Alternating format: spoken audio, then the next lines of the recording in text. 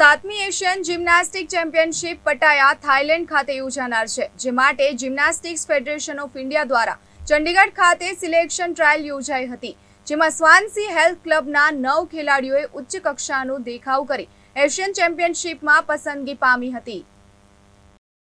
સાતમી Asian gymnastic championship કે જે પટાયા થાઇલેન્ડ ખાતે યોજાનાર છે, જે માટે જિમ્નાસ્ટિક ફેડરેશન ઓફ ઇન્ડિયા દ્વારા ચંડીગઢ મુકામે સિલેક્શન ટ્રાયલ યોજાઈ હતી, જેમાં આવનારી તારીખ ત્રણ નવ બે હજાર બાવીસથી પાંચ નવ બે હજાર બાવીસ દરમિયાન થાઇલેન્ડ પટાયા ખાતે યોજાનાર સાતમી એશિયન એરોબિક્સ જિમ્નાસ્ટિક ચેમ્પિયનશિપમાં સુરતની સ્વાનસી હેલ્થ ક્લબના નવ જેટલા ખેલાડીઓની શ્રેષ્ઠ પરફોર્મન્સ કરી સિલેક્શન થયું હતું, જેમાં મિત કોસંબિયા વ્યક્તિગત રમત, Prakruti Sindhi mix player Nishant Chauhan mix player Harshil Patel mix player Vishwas Patel mix player Kavni Bangali ડ્રાયો Shubham Rana ડ્રાયો Riddhi Bhagat mix player Veer mix player આ તમામ ખેલાડીઓને તૈયાર કરવામાં કોચ શ્રી શશાંક સાગર વાસુ બીડીવાલાનો સિંહ ફાળો રહ્યો છે દિવસ રાતની અથાગ મહેનતનું પરિણામ સુરત શહેરના ખેલાડીઓને પ્રાપ્ત થયું છે કે જે સુરત શહેર ગુજરાત રાજ્ય અને ભારત દેશને ગૌરવની વાત છે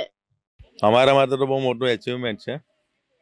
અને આ વખતે અમે- એક આશા રાખીને પણ ટીમને મોકલીએ છીએ કે એક તો મેડલ લઈને આવે જ. ખાલી હાથે તો આવું જ નથી. એટલે એવી હોપ સાથે જ મોકલીએ છીએ. અને ઇન્ડિયામાં પહેલાં એવું હતું કે ભાઈ, જમ્મુ અને મહારાષ્ટ્ર અને સર્વિસીસ એ લોકોનો ડંકો વાગતો હતો. પણ અત્યારે આપણે પણ ફૂલ પાવરમાં છે કે આપણી પણ આજે નવ નવ જણા ક્વોલિફાય થઈને જઈ રહેલા છે. અમારા માટે એક તો મેઇન તો અમારા સ્ટેડિયમ છે પ્રેક્ટિસ કરવા માટે.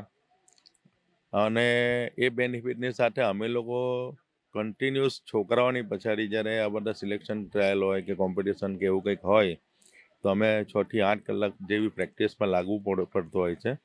અને એ મહેનત વગર આ રિઝલ્ટ આવી શકતું નથી. એટલે એના માટે બધા પેરેન્ટ્સોને પણ એના માટે અમે બહુ આભારી છે. અને છોકરાઓ પણ એટલી જ મહેનત કરવા માટે આટોથી બેઠા જ હોય છે.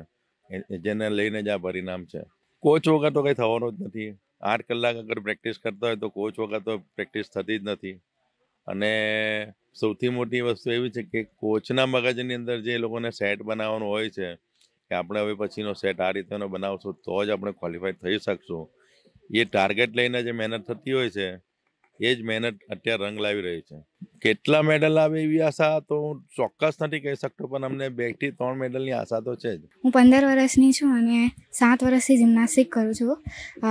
લાસ્ટ અમે ટુ થાઉઝન્ડ એટીનમાં એશિયન કપ રમવા ગયા હતા, તેમાં મારા બે સિલ્વર મેડલ આવ્યા હતા અને વર્લ્ડ ચેમ્પિયનશિપમાં સિલેક્ટ થયા હતા ટુ થાઉઝન્ડ નાઇન્ટીનમાં અને કોરોનાને કારણે કેન્સલ થયું હતું. હવે ત્રણ વર્ષ પછી અમે આ ઇન્ટરનેશનલમાં સિલેક્ટ થયા છે અને અમે ટ્રાય કરશું કે મેડલ મેડલ આવે અમારો. અમે ઘણા પ્રિપેર છીએ અને અમે સવાર સાંજ ચાર ચાર કલાકની પ્રેક્ટિસ કરીએ છીએ એના માટે. અને હું છ વર્ષથી જિમ્નાસ્ટિક કરું છું. મેં હમણાં ચંડીગઢ ગયો હતો, ત્યાં અમારું સિલેક્શન ટ્રાયલ હતું. એ, એમાંથી જે પણ સિલેક્ટ થાય ટોટલ દસથી અગિયાર ટીમ આવી હતી. એમાંથી જે પણ સિલેક્ટ થાય તેને એશિયન ચેમ્પિયનશિપ એશિયન ચેમ્પિયનશિપ રમવાનો મોકો મળે છે અને એ થાઈલેન્ડમાં યોજાય છે. તે સપ્ટેમ્બર એકથી ત્રણ સપ્ટેમ્બરમાં યોજાય છે. અમારે સવાર, સાંજ, રોજ ચાર ચાર કલાકની પ્રેક્ટિસ કરીએ છીએ અને ટ્યુશન, સ્કૂલ એવું બધુંમાં રજાઓ મૂકીએ છીએ ત્યારે પ્રેક્ટિસ કરીએ છીએ અને એના પછી અમે મેડલ મેળવીએ છીએ. અમે હમણાં આમ તો ઘણા પ્રિપેર છે અને બહુ બધા સ્ટેટ અને નેશનલ લેવલ બહુ બધું મેડલ અચીવ કર્યા છે. અને આ છ વર્ષથી હું કરું છું જિમ્નાસ્ટિક. તો એના પછી હું આ એશિયન ચેમ્પિયનશિપ સેકન્ડ ટાઈમ રમવા જાઉં છું. આનંદ ગુરાવ ગુજરાત ન્યૂઝ સુરત.